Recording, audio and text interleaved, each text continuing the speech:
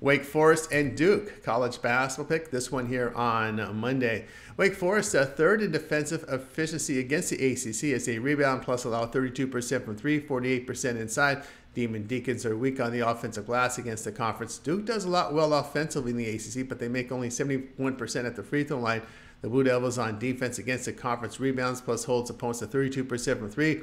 The past five games, Demon Deacons allowing just 43%, and the Duke Blue Devils 41, just over 41%. The play will be Wake Forest and Duke under 152.